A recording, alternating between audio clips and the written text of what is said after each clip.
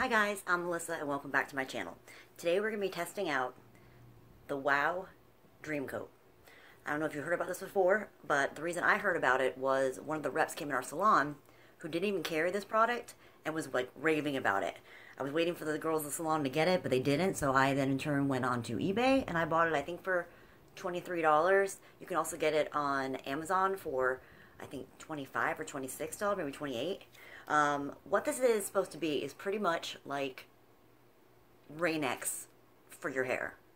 Like humidity repellent, water repellent. It's supposed to even last up to three shampoos in your hair. So I'm like intrigued because I live in Florida. It is humid as all can be. So if this stuff works, then fantastic. So what you're going to want to do is get your hair kind of just damp. Not wet, but damp and then you're going to kind of take different sections, which I'm going to do now. And then it says to spray it liberally. so we're just going to take little sections. I have no clue how the thing comes out. I just opened it. Hopefully I won't spray Paco. I guess that's liberally. So we're just going to spray this all in the hair. So, like, if this works, then, and it's like a magic product, and that's freaking fantastic. I hope my hair is dry enough.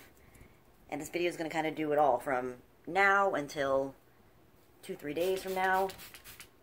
Sorry, Paco, if I got you. I mean, in reality, the I care about, like, the top layer of my hair the most. Hopefully I'm getting everything good. Alright. This is my most important.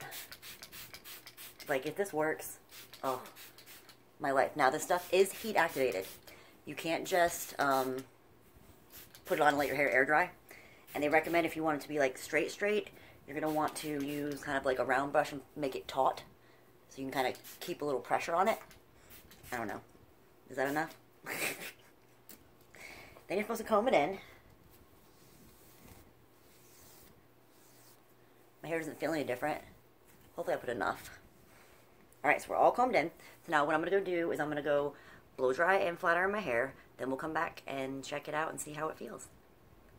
Alright, so I went ahead and blow dried my hair. And this is the first time I actually used a brush. I don't have a round brush, but I really tried to keep it taut. And then I did um, just a light flat ironing on the lowest setting. My hair feels smooth. Doesn't feel much different. Maybe a light film on it, but nothing like sticky or anything. Now we get to put it to the real test. Will it hold up to Florida humidity? I'm going to test it out for the next two days, and then we'll come back and finish the video, and then we'll see if this product is what it's supposed to be. If it is, guys, I'm going to be so happy. Alright, guys. So it's been two days. I've not reflat ironed my hair. It even got, like, mildly, like, drizzled on. And I don't really see any frizz. Like, my hair can get really frizzy. Especially in this humidity in Florida. But, like, it's still super soft. Like, I'm loving it. I think, like, for future, I might just do, to save it, just do the top layer of my hair, because that's where I get the most frizzy. I think it's a really good product. You guys might have to try it out for yourself. But for me, I'm giving it a thumbs up. So, wow, Dream Coat. It coated. It did its job. Hope you enjoyed this video. If you did, if you liked it, give it a thumbs up. If you have any comments or any questions, please feel free to put them down below, and I'll get back to you as soon as possible. If you haven't yet subscribed, why not? Hashtag road to 10K. I hope you have an amazing day. Thank you so much for watching. See you soon. Bye.